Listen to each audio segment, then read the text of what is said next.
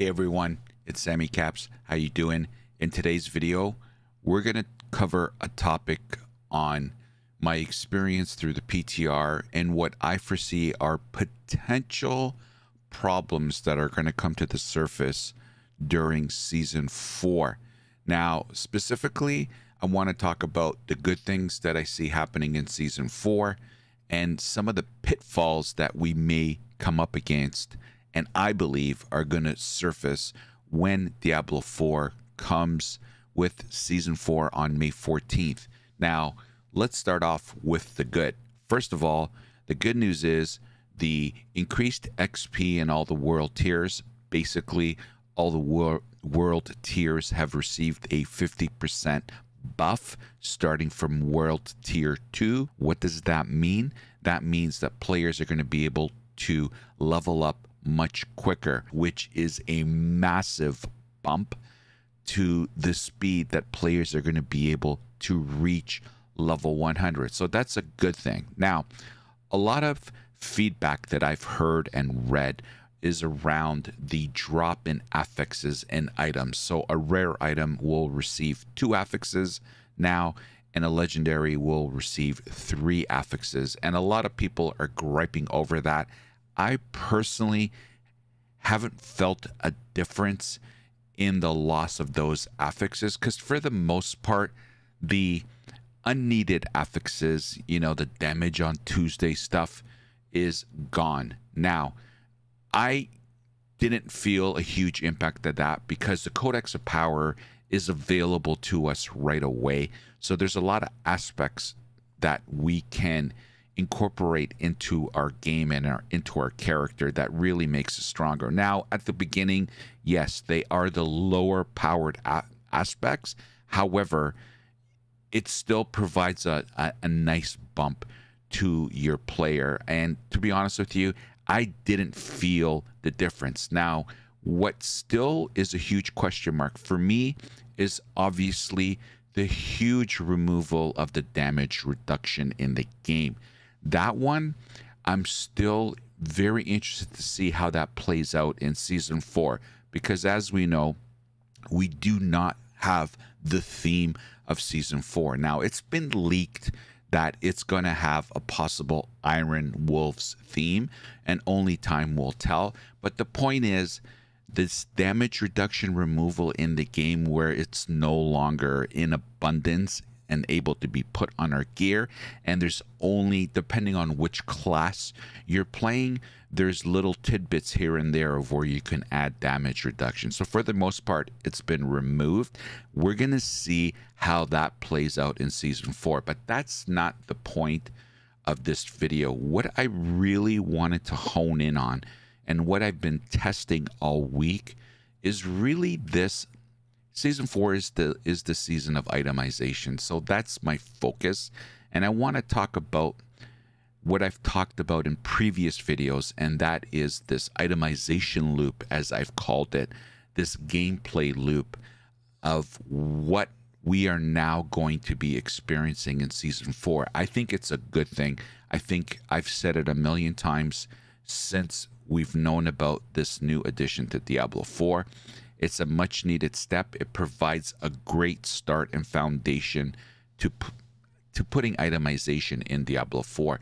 So I've been testing that thoroughly in season in sorry in the PTR testing, and there's some gaping holes in the system that I think really over time, as players season four comes and players start to experience it, and they go from grinding and leveling the game to eventually hitting the higher levels to eventually getting to level 100 and this is where Diablo 4 recommends you start playing that end game and that is the pit and masterworking. Now that's there's a lot of prongs to that. So let's start with the tempering and masterworking. And I've done videos on these topics.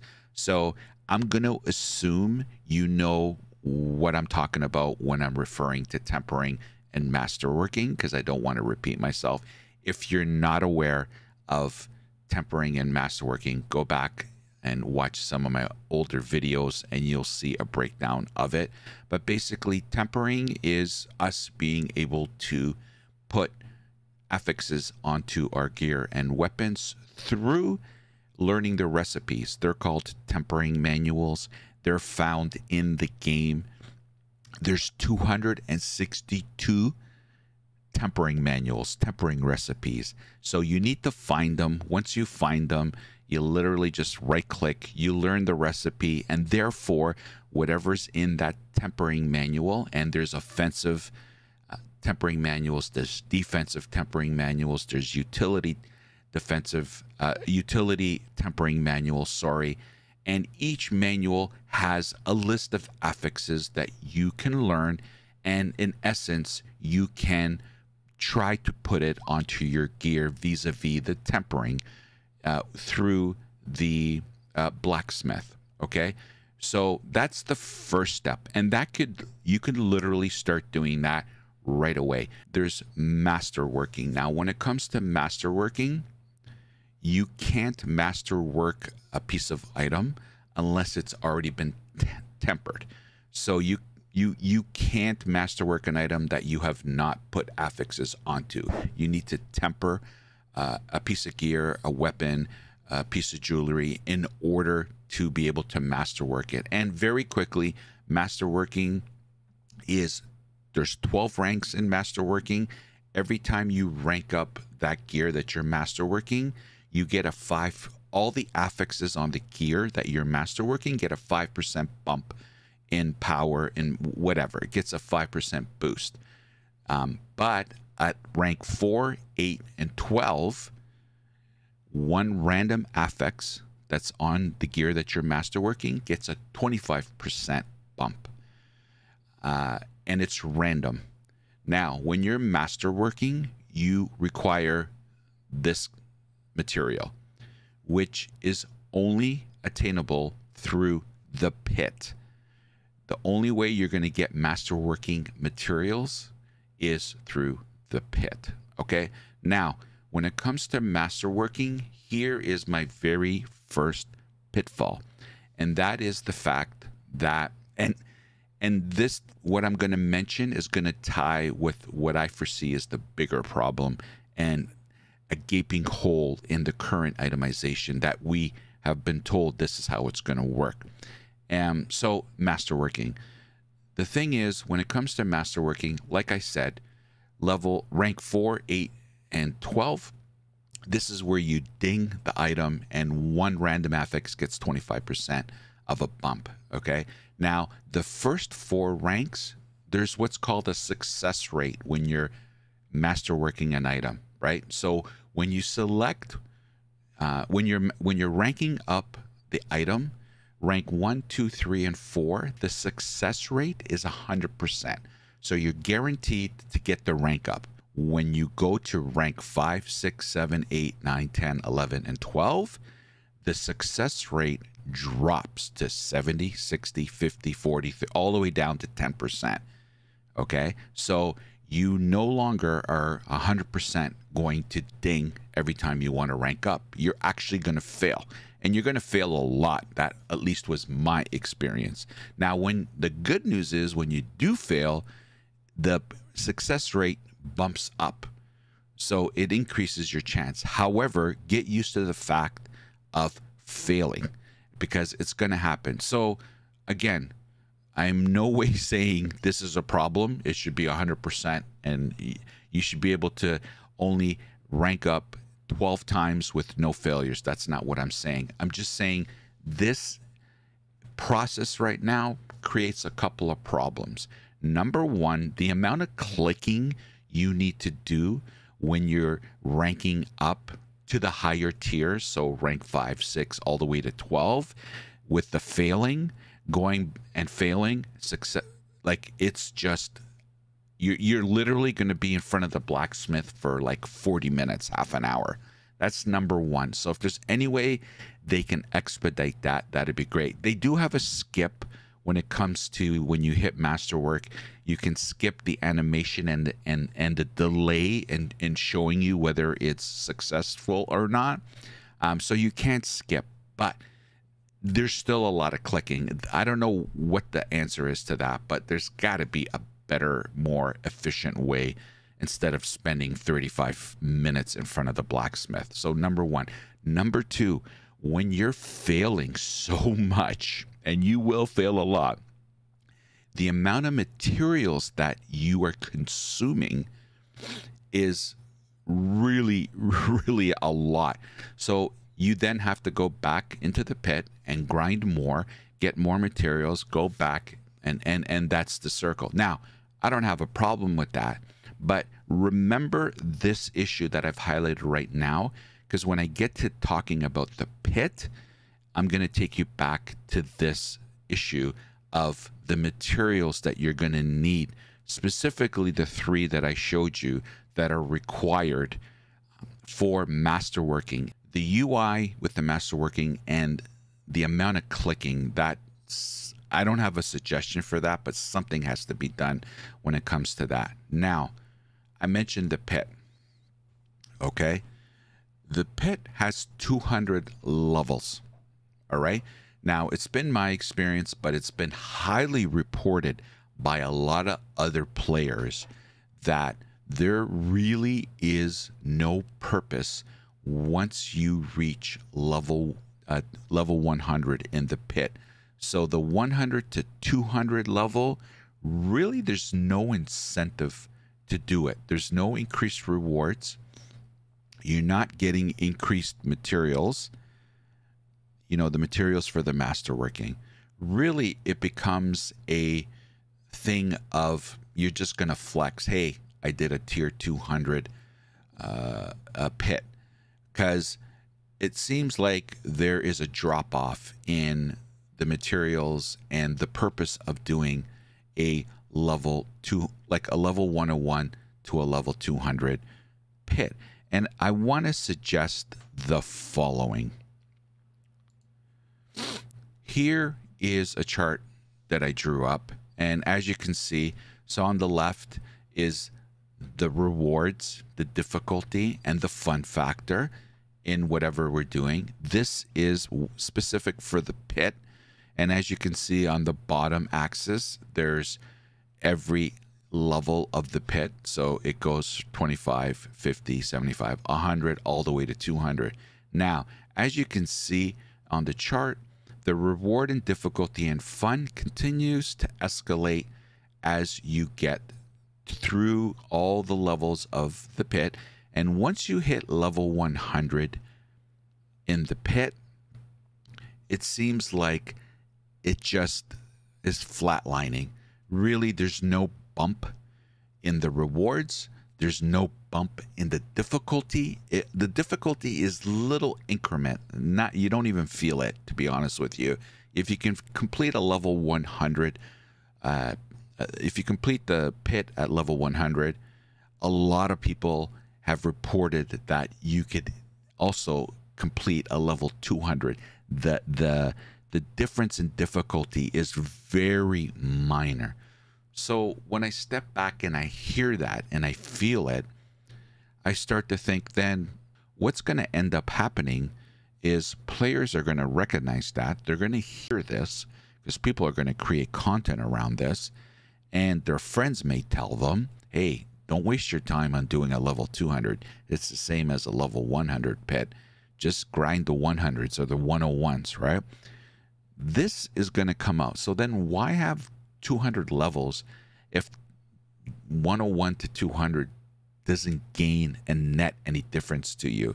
So I'm suggesting that they need to scale up, and that's the green line where now it's not as steep from zero to 100, but at least it's higher than the current and what we're experiencing in the pit where it flatlines. Somehow they need to amp up the rewards, the difficulty, which will mean more fun and actually provide more purpose to do a level 100 to 200. Okay, so they need to amp up the rewards and difficulty, which will equate to a purpose of doing the higher tiers in the pit. And this if they do this, okay, and I'm not saying it has to be astronomical, maybe just thinking out loud, uh, tier 100 to a tier 125, you bump up the masterworking materials by 10%. And then 130 to 150, the crafting materials are bumped up 20%, and so on and so on. So players are feeling the difference and it gives them a purpose to do it. And it'll give meaning for players wanting to attain and aspire to doing the higher tiers because this flat line it exists. Nobody's going to be doing the higher tiers other than the ones that want to flex and say hey look at me i did a 200 pit. That's not the point of it right? So i also think this change in the pit where you're amping up the rewards difficulty in the higher tiers of the pit, I think it will also add value to the end game loop that I talked about. Why? Because it gives purpose. So the higher you go in the pit, the more rewards you're getting, the more difficult it's getting. So you need to make you, you need to make damn sure your character is strong enough to handle it. Now, the pit is a recommended level 100 activity, right? So this is endgame stuff and we're going to we're going to need the master working materials which we can only get through the pit. And we we burn through them quick. So this change in the pit where it's no longer flatlining and actually a little bit of an of an increase provides the resources that we need in order to offset all the failing masterworking and I didn't mention when it comes to masterworking what also is an RNG is which random affix it bumps up 25%. Maybe it's one we don't want. And you could brick an item and you have to re-roll and reset the master working, right? Which again, you now have to burn through all that material again. So this little change in the pit where you're bumping it up at the higher tiers only facilitates a better master working process. Now, this model can be applied also to Nightmare Dungeons, where I see another problem. And this is a problem that's already existing in the game. And that is the fact that on Nightmare Dungeons, this graph you can literally replace for Nightmare Dungeons. So, Nightmare Dungeons really, we do Nightmare Dungeons. Number one, in the beginning, you had to but now you're going to do Nightmare Dungeons because, well, loot. This is uh, Nightmare Dungeons is also a place where the tempering manuals drop. In my personal experience and all the testing I've done all week in the PTR, I've had the highest drop rate of temper manuals in Nightmare Dungeons. At least that's been my experience. I don't know if that's done on purpose. Uh, but I can't find any literature on, yes, here are the spots you need to do in order to get temper manuals. Uh, there's no written information on that. It just talks about the tempering manuals. It doesn't say where to get them. Now, some people have said you just need to play all the and I have had tempering manuals drop in regular gameplay, but the highest drop rate has been in Nightmare Dungeons for me during my PTR testing. Anyway, Nightmare Dungeons. As we know, when you complete a Nightmare Dungeon level uh, tier 41, tier 41 and above Nightmare Dungeons, that's where 925 item power gear starts to drop, right? So players obviously they, they want the 925 gear.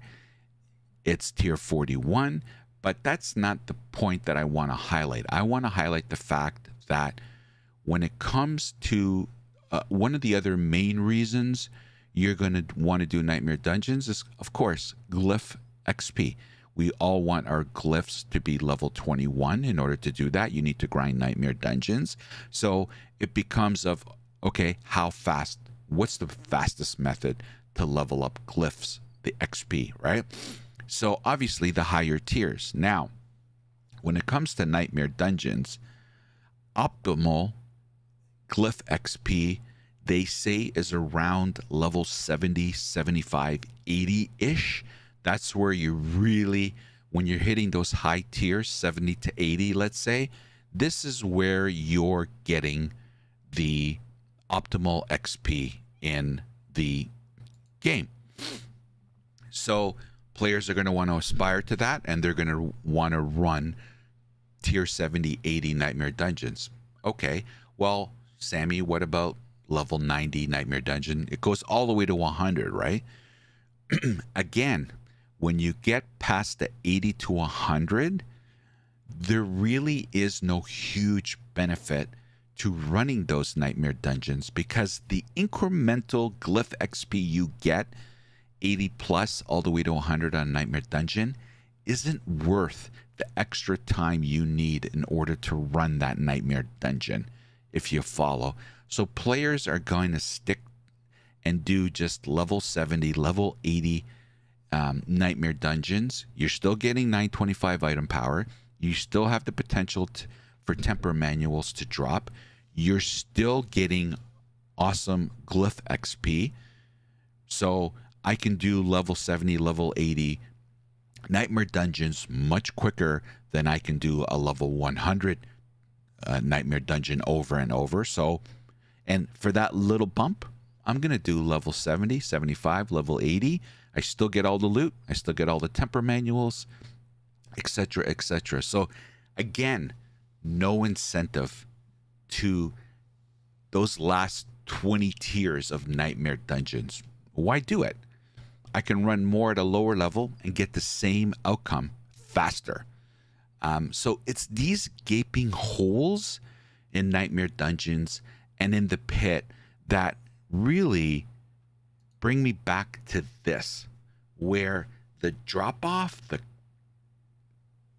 you need to eliminate the drop off. You need to incentivize players to attain and aspire to the top level content that you have. Why have 200 levels in the pit where there really is no incentive to do it after level 100. Why have tier 100 nightmare dungeons when you can stick around the 70, 80 tier nightmare dungeon and have the same outcome quicker? What's the point? Cut it off at 80 then. Cut the pit off at 100 levels. You follow what I'm saying? But I think they could utilize these holes and implement mechanics in the game that will help facilitate and make the itemization loop that I keep talking about much better. So add incentives to these higher tiers in the pit in Nightmare Dungeons where again, I'm not saying they got to triple the drop rate and, and uh, we have all the master working material we need for 20 characters. That's not what I'm saying. But even even little incremental steps would provide so much value in this itemization loop that I keep talking about. So to me, these are these are gaping holes in the current format that I foresee are going to come to the surface and are going to be issues. These are the things that I think are going to come out of season 4. Now, we don't know what the seasonal theme is going to be. We know that it's potentially a Iron Wolves theme, but maybe we're going to get some XP bumps through that mechanic as in past seasons. So there are still question marks here, but at the end of the day, I don't see the seasonal theme changing these gaping holes that exist in the pit, Nightmare Dungeons, and the masterworking. Three core elements of the Diablo 4 gameplay and three core elements of this itemization loop that I keep talking about. Now, yes, I understand there's the boss ladder and there's the torment bosses and there's a lot of other and the hell tides beautiful. The Hell Tides are amazing, which, by the way, obviously everybody's going to be doing the Hell Tide strategy when it comes to leveling. It it has been shown and proven that that is the best method of leveling up quickly.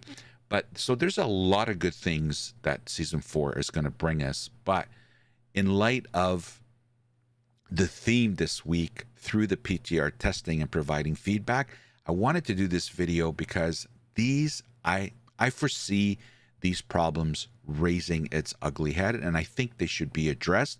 And I honestly think what I'm recommending about increasing the rewards, increasing the difficulty, that'll increase the fun and an increase and it'll give us purpose. I don't think those are major to-dos. I actually think they're really quick fixes and good fixes. Anyway, let me know what you think. What do you what what has been your experience through the PTR? Do you agree with what I said? If you do, let me know. Do you have any recommendations that you think would address these gaping holes in the current itemization loop that's going to exist in season 4? And or do you disagree with me? You're okay with how everything is. What's your experience been? I would love to hear it. Anyway, thanks for watching everybody. And if you could like, comment and subscribe, I would really appreciate it. And if you can also do me a solid and hit that bell so you get notified exactly when I drop content. This way you don't miss one video of mine. That would also mean the world to me. Anyway, thanks for watching everybody. We'll see you next time. Take care. The opinions expressed in this video are mine and solely mine. Healthy debate is always encouraged. Hate is never welcomed. So get over it.